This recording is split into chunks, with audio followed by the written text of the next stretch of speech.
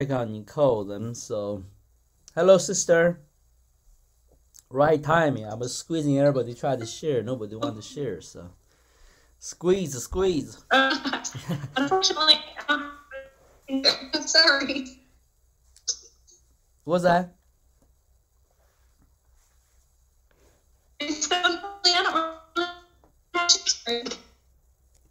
Well, you're breaking it out a little bit, so.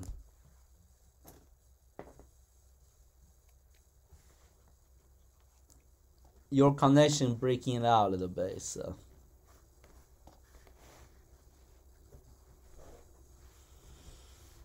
Well, I will invite you to pray for us if the connection is good.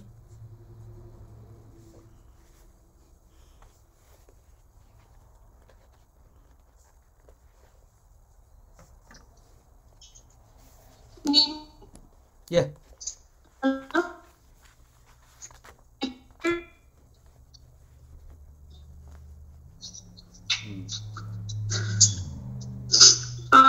Thank you that you desire to have a connection with us. I, I am in, in, in desperate need of you and that connection.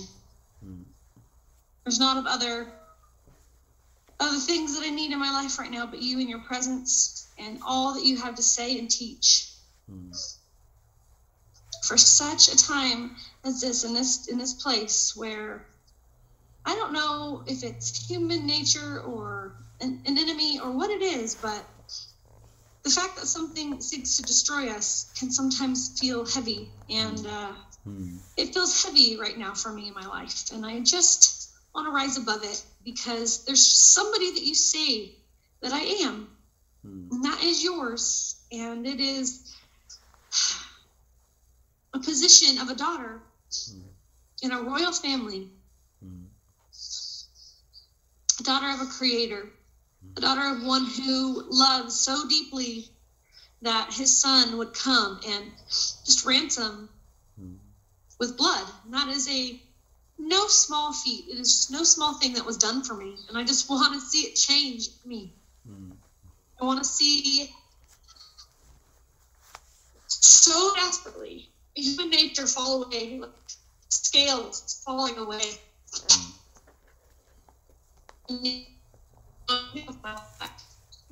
So change and uh,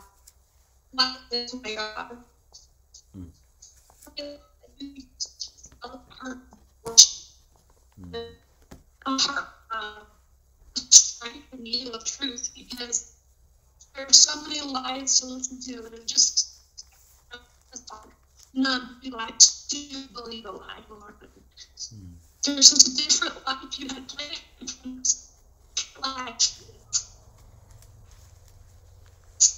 Relationship between a child and their father. There's such a difference, and this world has not produced it. This world has done the opposite, Father. And and thanks be to you, you want to reconnect that again. And I just need and want every single part of it and everything to do with it. Yet it feels like there is a huge chasm between it. So hmm. Lord, as we continue to just follow you and humble ourselves, Lord, to your plan and your wisdom and your will, I just ask for a breakthrough. I ask for relief and I ask for um, just hope and faith. And I just thank you that you have a people here that are an example and are a a leading way. They're a leading way is what they are. A a leading way for all to follow to be like you. And I just ask for a blessing for them because of this. In Jesus' name, amen. Hmm. Hmm. On the prayer, a lot can be shared, but um, we do pray for you, sister. Sometimes underwater is not a bad thing, okay? it's easy to say, however, hard to endure. Um, I had to smile at you because, uh, mm, um, I think Sister Prim might, have some counsel for you, but let me uh, share certain things with you. Uh, as if it's a Q&A, okay? So, I think last time conversation carried is how to enter the presence or remain the presence of God. You think um, if I remember the conversation carried, I um, I, I I shared the presence of God can mean different thing for different people and different uh, uh, different allowances, you know, uh, uh, accessibility, if you will, for the presence of God. He does manifest or choose to reveal to the creation uh, in different ways, in different realms, rather. Uh, it's very simple, you know, when you don't, you, you done away with the religious vocabulary or imaginations man. You, you think about uh, an invisible, almighty, all self-sufficient, we love to use that word, but omnipresent God, right? He's omnipotent also. His word, I don't use the theology to back this up, I'm talking about the general word that basically is everywhere. He's all knowing and is all powerful. This being, if you will. And it created everything. created the things that have a conscience or the mind or don't have a, a conscience. Um, that's different. Um, even that it can be differentiated in different ways, right? So, for example, plants different than the insects, right? So the insects, however, live by the intuitions. It's not like a, a bird, you know. I was looking, taking some fun, watching some birds, you know, some bird being saved, rescued by someone, and this is farms and bombed, you know, so sweet. Or cans, dog do that as well. So you can see different creatures basically responding to God differently.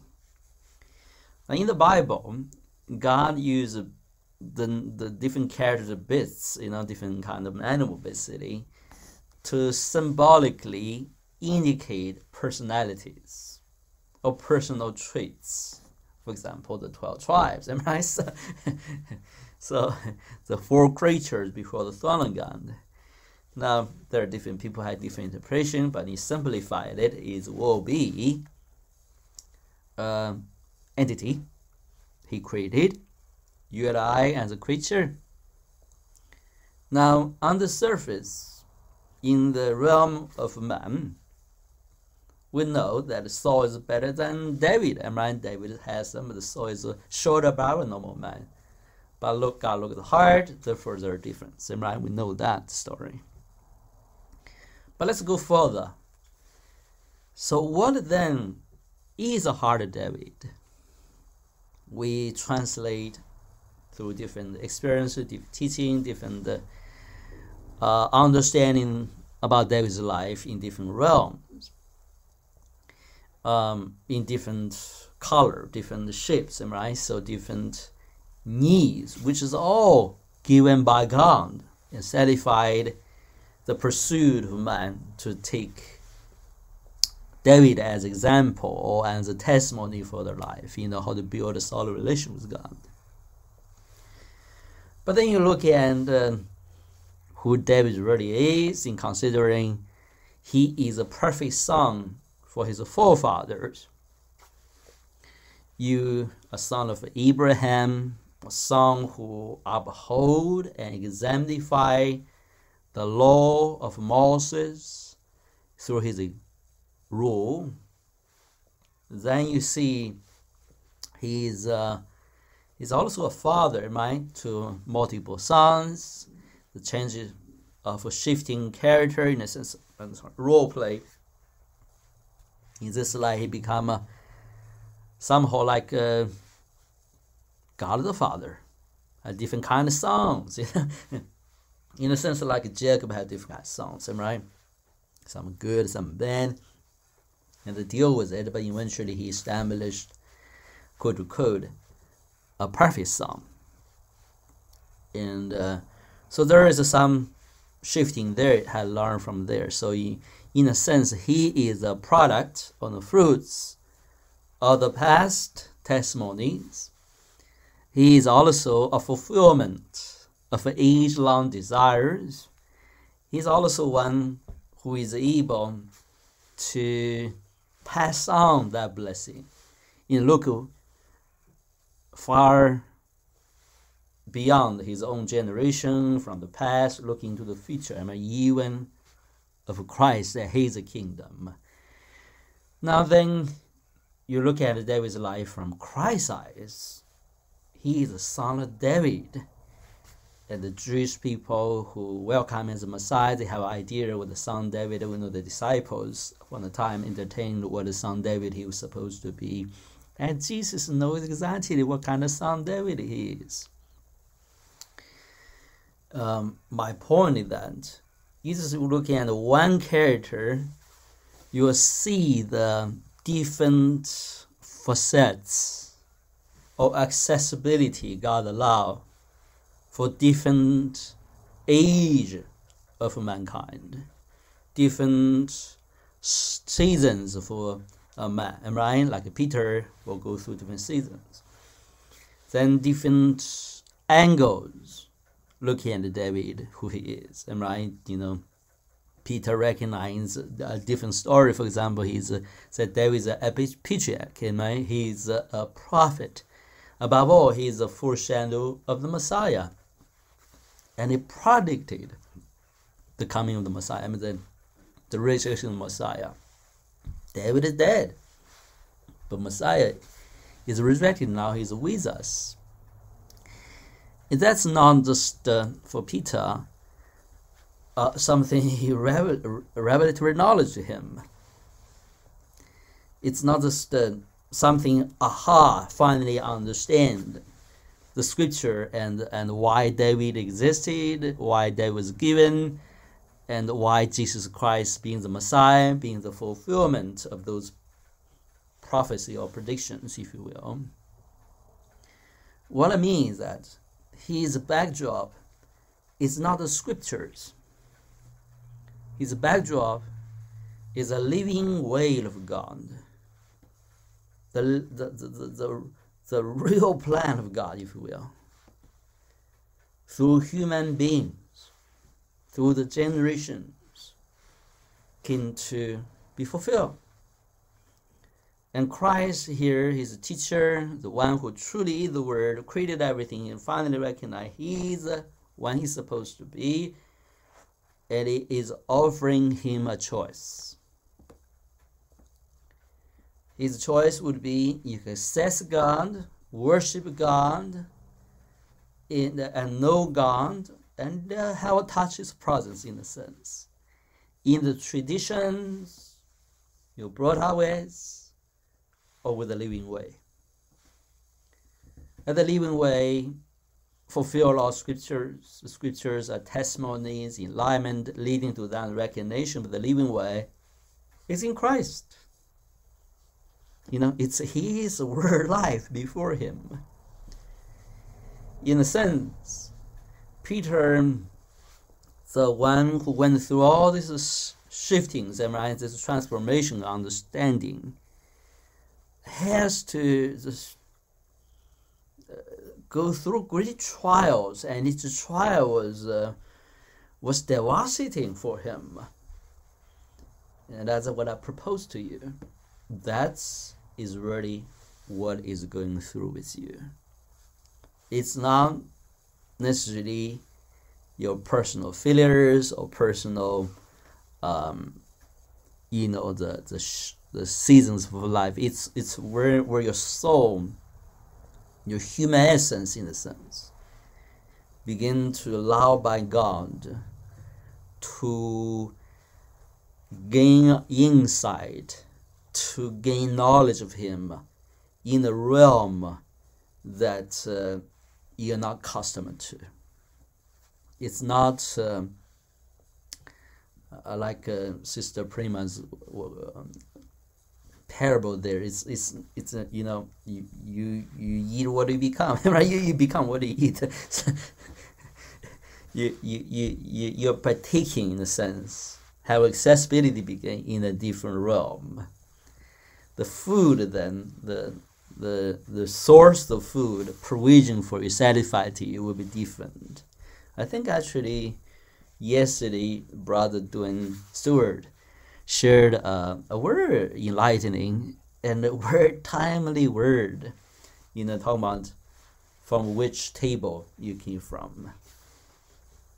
Now, oftentimes this is so blurred in us. As a simple example, you know, you see different cats, you can different characters. John knows that very well.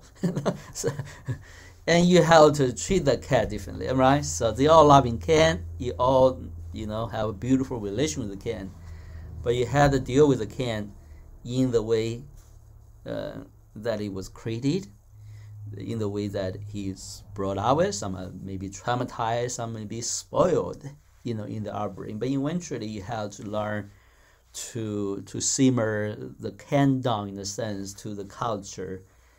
Uh, you try to include that can in as your family member, you know, as your your your your cat, you know, and each season will, you know, if the can change ownership in a sense, what have you, they're going to go through this transitions, right? So you you sometimes struggling with more than a cat, his habits or his uh, temper.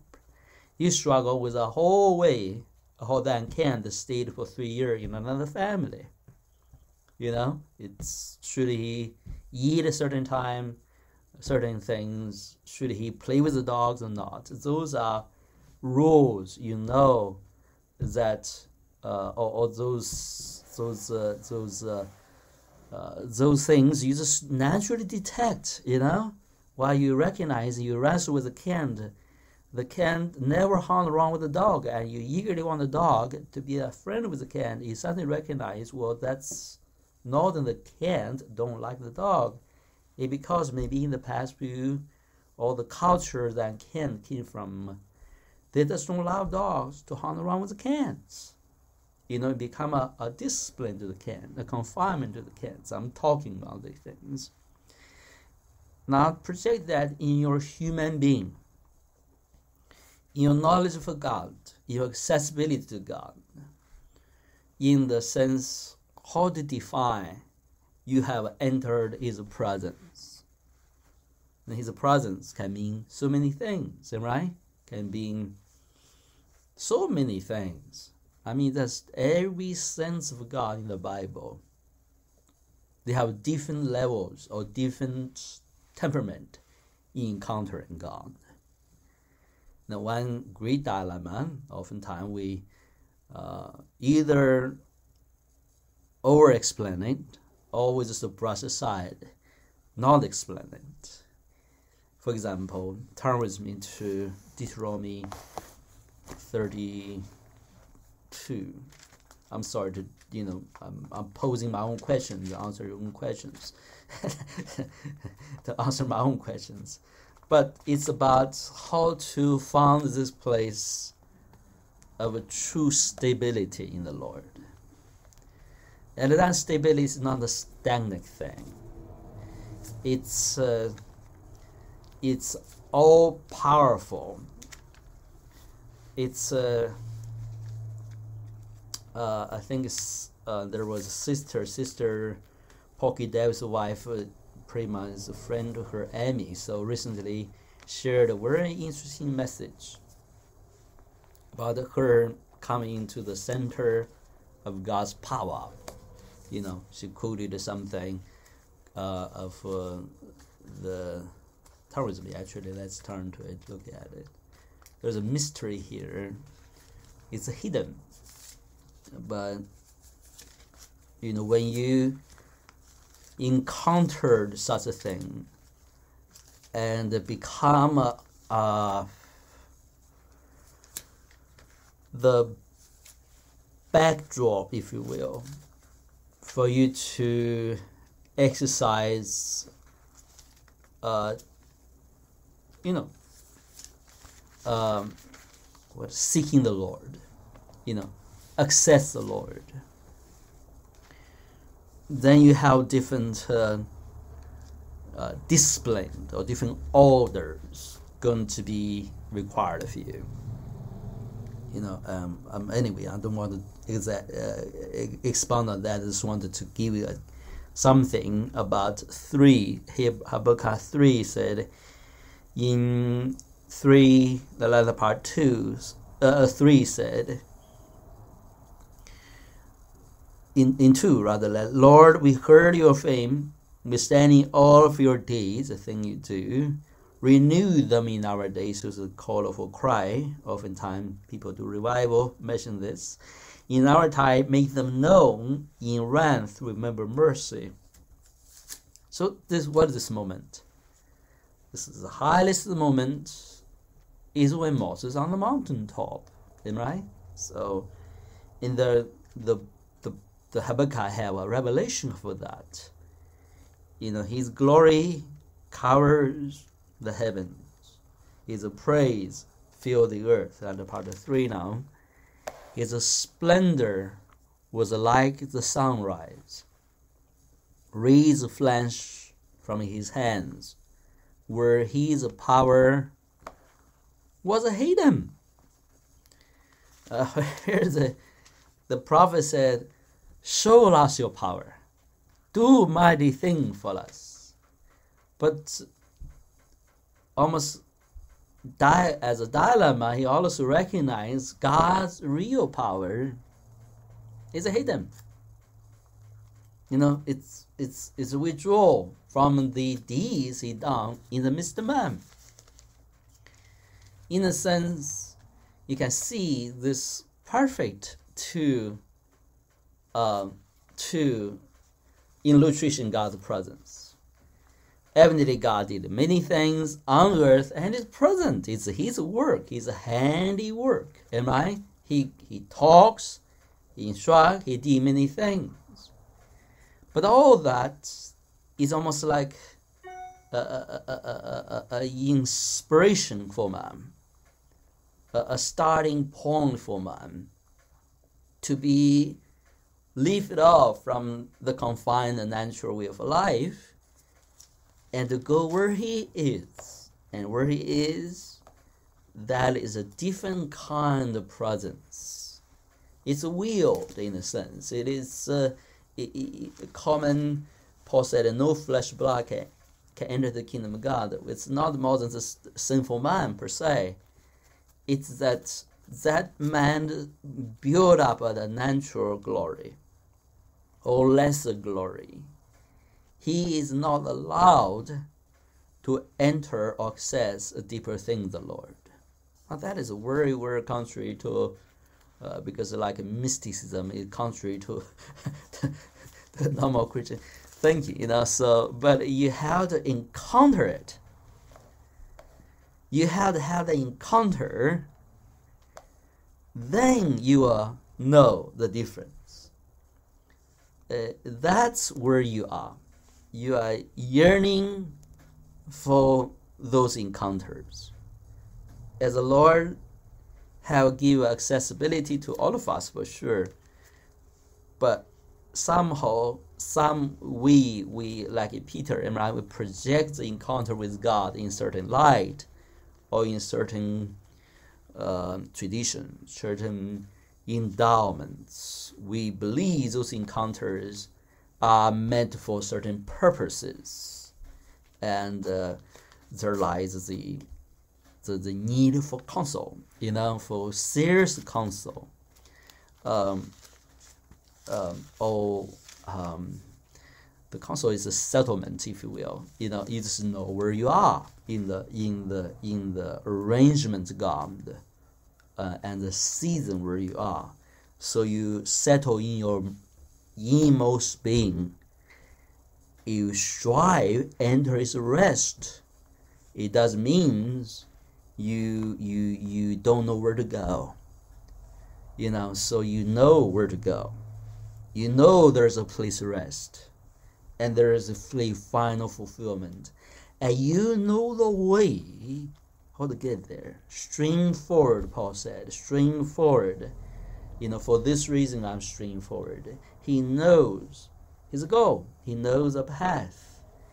Um, therefore, your the, the struggles will not be a, a, a scandaled way. You know, it's a rather go through a birth pain almost. You know, so you go through the narrow path, but not, um, um, you know, disoriented, if you will. I like the word that's been came to my spirit recently as well. You're not, you're not troubled, as if God is not with you, and you're not getting anywhere, and uh, you're wrestling your in, over your own life, over this this life in the world, and wrestling over evil powers is. Um, is useless, you know, is a, is a defeated, whatever. But you rather know, no, I will endure this. I will go through the valley of the shadow death, but I know the, the staff, the Lord is leading me, you know, the, he is my true shepherd.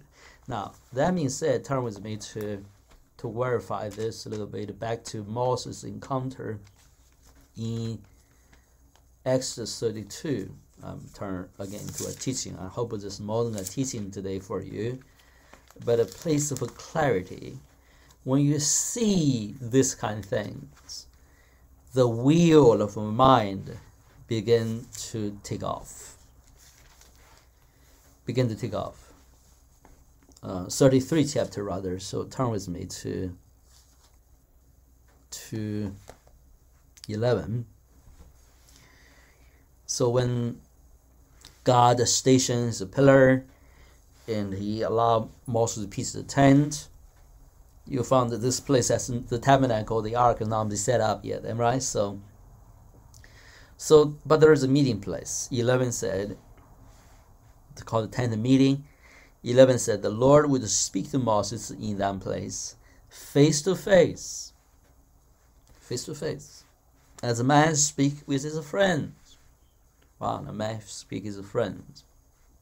And Moses had a lot to speak, am right? He will he was a judge, he was a leader for a great people, a long affair to take care of. So what he do? He he get there and he arrange those things out. You know, he will make a sound judgment and um, well that's wonderful for the man to have this privilege, and God will give him counsel, give judgment about every affair bring to the Lord. I try to tell you, but Moses don't know the way. Moses has not asked God or understand God is different kind of God. It's not like other gods you know, you can just go to this idol, go to this God, give you an oracle, give you a solution, give you what to do, the don'ts.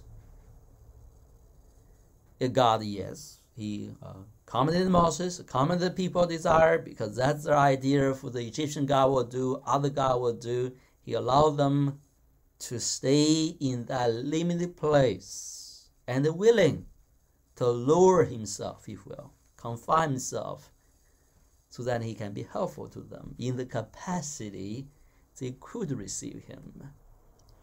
See Jesus did the same thing with disciple. I tried to say, tell you the same.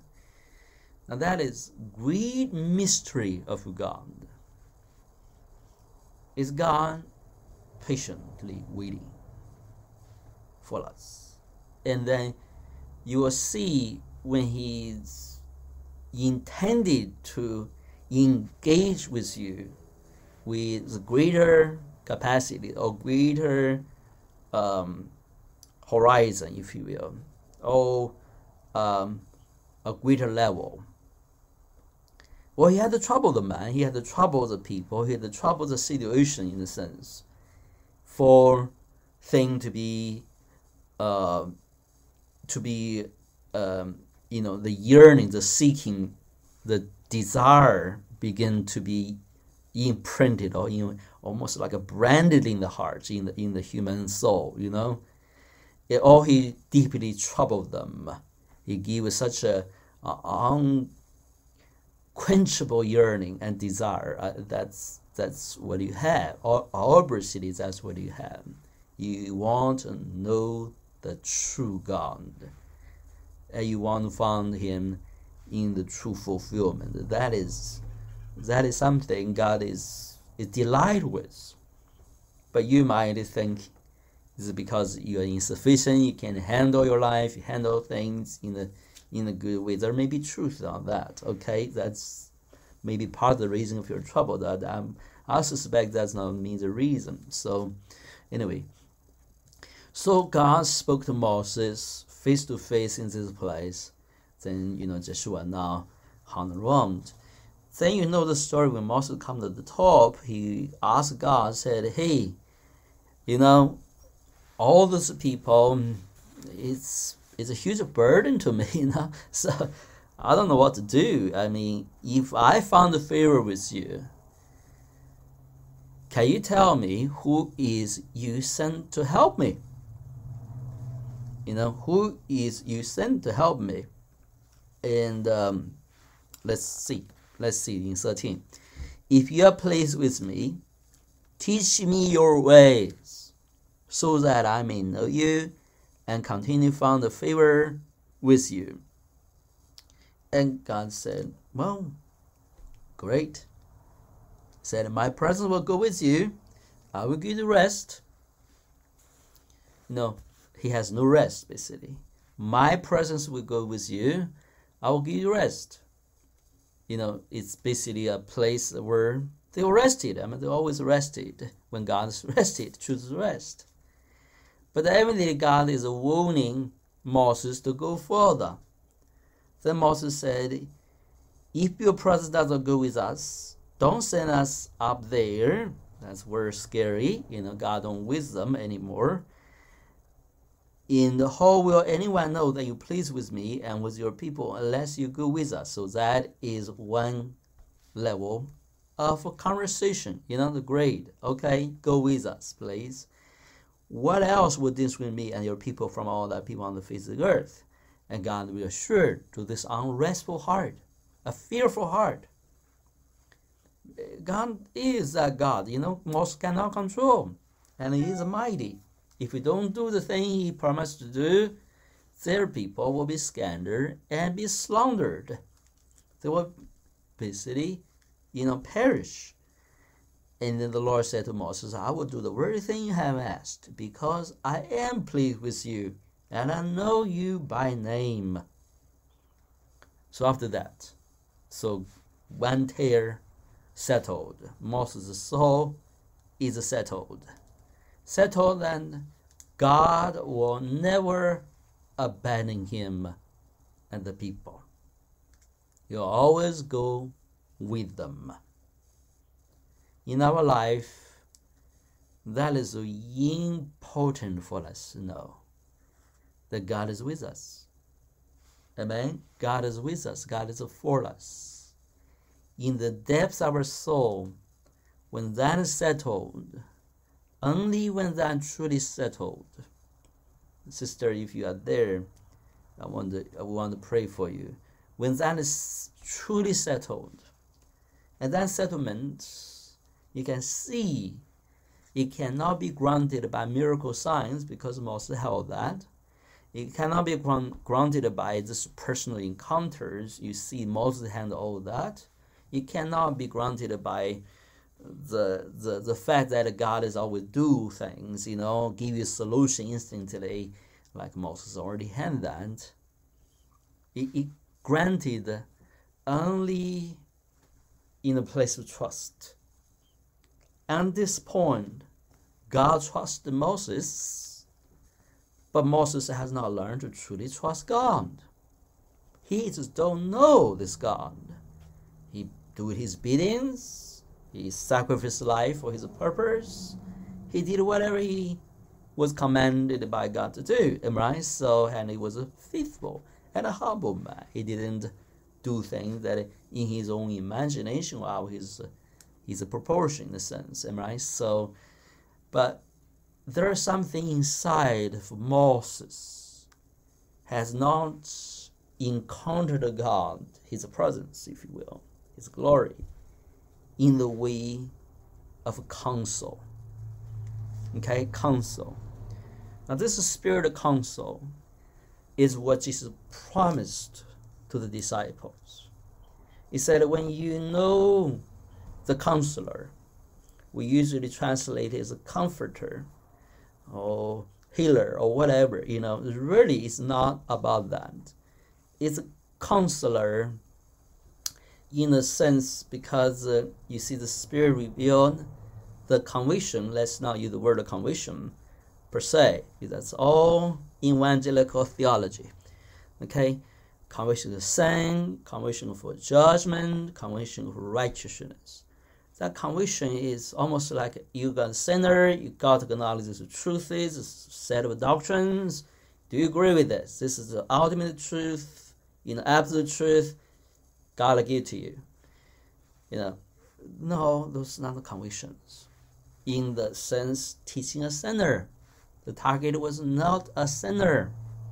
You see, the Spirit in this destination, the Lord interested in, and, and after the disciple already repented, all already followed, and then he said the Spirit going to teach you all things and it is not about merely convicting a sinner, woe them of the future judgment, all those kind of things. So what then? They believe that. They follow that. Am I right? So I'm just giving you some simple example. But this is our church of theology. We have carried on for generations till today. It's a strongholds, literally strongholds. Because when you have those strongholds, you will use the work of the Holy Spirit for the different purposes. You not see the education of a spiritual sonship really means for spiritual man. Uh, it was uh, it's it's uh, it's um, so then what is conviction? Back to this conviction. So evidently it was not conviction to, to, to convict a, a a sinner. It is uh, the firm teaching, the inscription of the law of God on the new living heart. And that conviction is not conviction sin in the way evangelical prescribed it. Then what it means? It's literally the book of Moses, uh, Romans begin to open up for us, am right? There are the law, love for sin and power, am I? Make man not capable to be a son of God. Now, once we understand that, now we are free from that economy, or then we are alive, we can be convicted, not word convicted, can be taught. The Spirit will inscribe the law of God on my heart of the Spirit. The Spirit will teach me all things.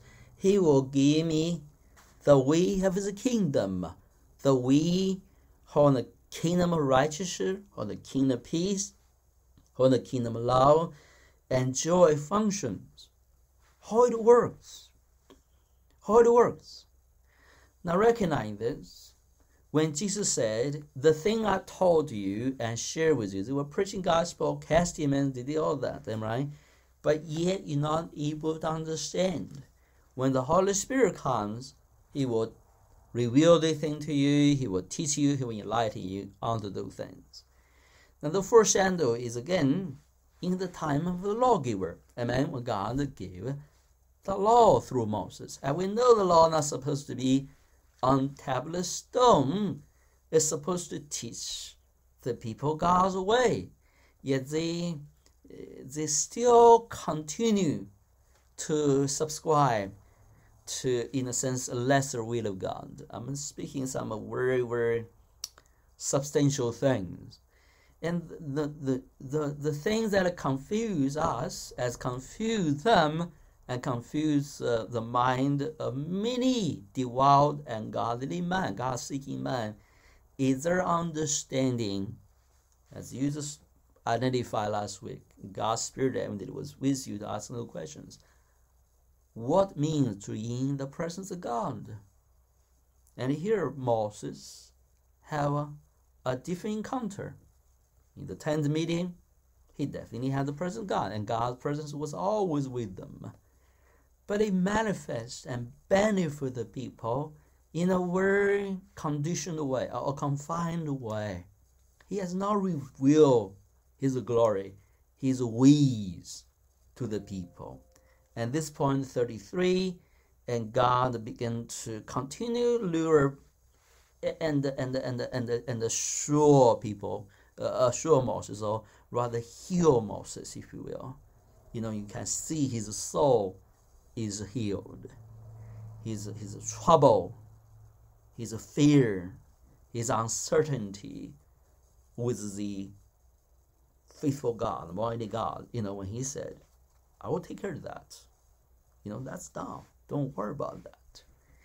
And he just he's then step ahead, you know. So, oh, if I found favor you, can I ask something else? The question is, how we ask.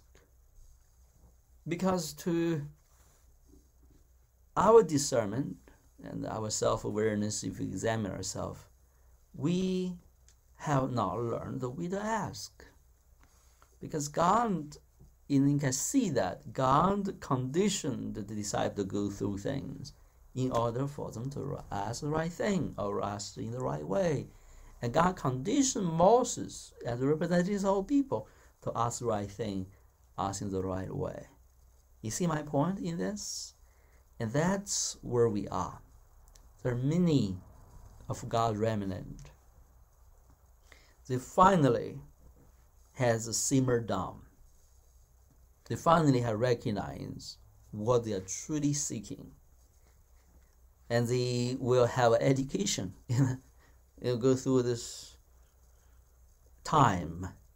The world is is stirring, and the age is is changing. The heavenly realm is is is orchestrating um, events and release um, forces, if you will, amen, to to to to to produce this perfect incubator for the hearts of those that detect the Father want want want a deeper substantial thing with them, want to bless them with that. He began to wounding, and there will be a mighty wonderful outpouring for sure. But it was different than man thinks the other point, the power and the glory of God will be revealed in different way than the past. And I congratulate you, sister, you know. So the Spirit of God is working your heart in wounding those. And all of us, we have detection of it. We have different realms or different ways to do it. Now, I'm going to have, you understand the point. I mean, basically, God, you know, speaking to Moses didn't speak face to face anymore, right? He, he, said he got the cover under the cleft, you know, until I pass by. Uh, you know, you know all the teaching my point in that there is another presence there. That's a presence Habakkuk saw. Is that presence is enough? That's the presence of Peter, John, and the other one, Andrew. I'm not sure which one the other saw on the mountain transfiguration. Is that good enough? Obviously not, because you see in Second Corinthians, God. Start with me. Let's read this as a summary. So, this is a picture, the vision recently Ben saw. Uh, ben, I'm making sense to you, you know. So, is that encouraging? God write in our hearts the music of his uh, his writing. Amen. It's, Amen. It's, yeah, it's, it's wonderful. It's not with human sure. human knowledge, and right? It's uh, it's you can use scripture back it up for sure, but it it has to be real. It has become real.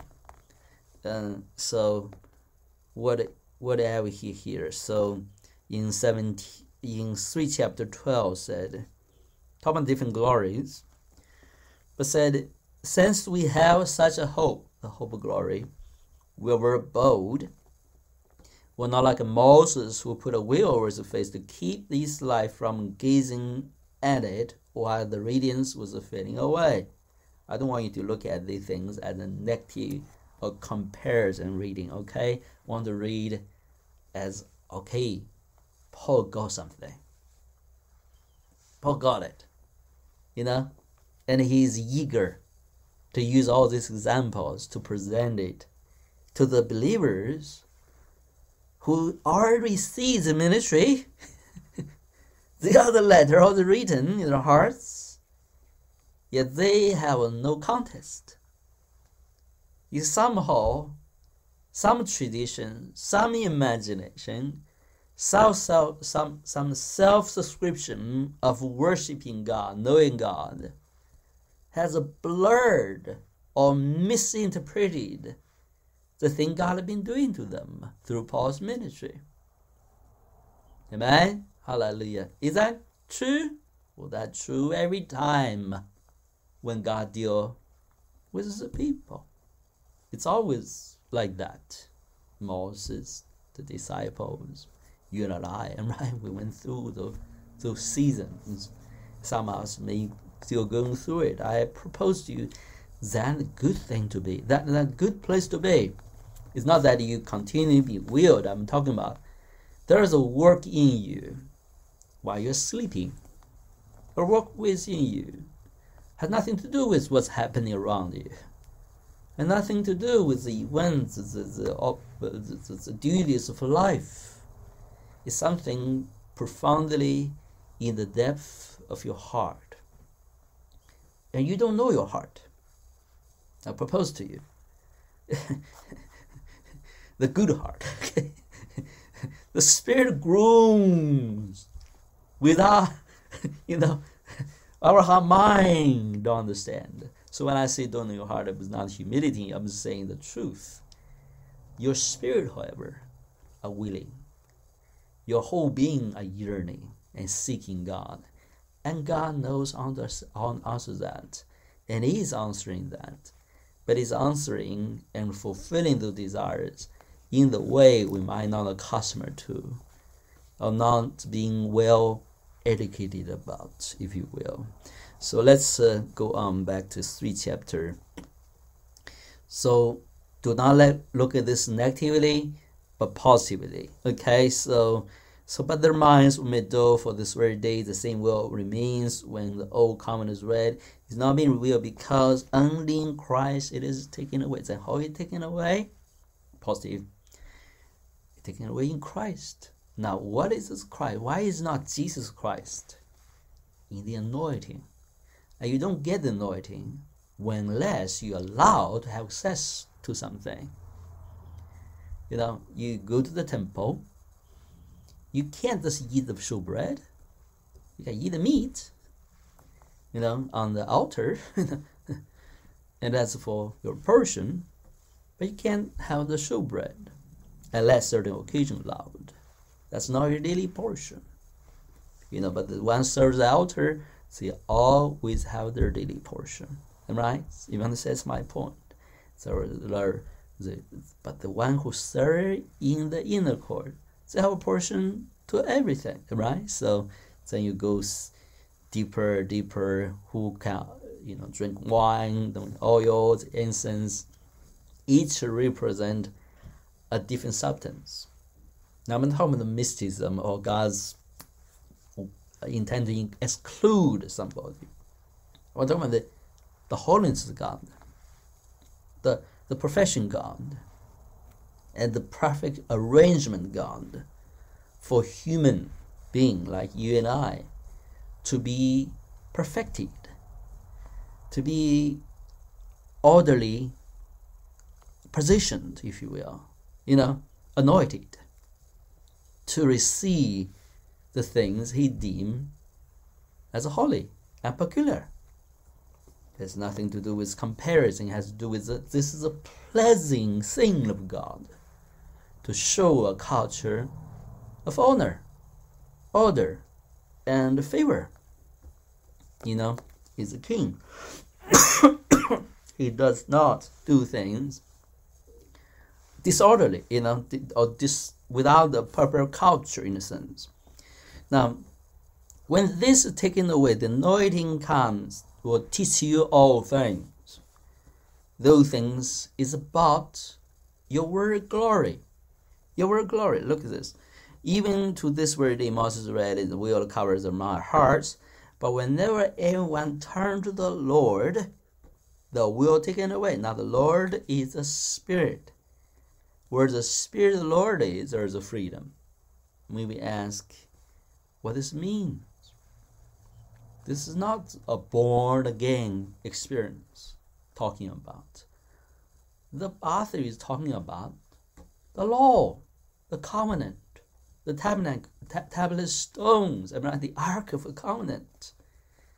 He was talking about almost have a backdrop, the temple set up, and right, the tabernacle set up. You see, and we, with unveiled faces, all reflecting Lord's glory, are being transformed into His likeness with ever increasing glory, which come from the Lord, who is the Spirit.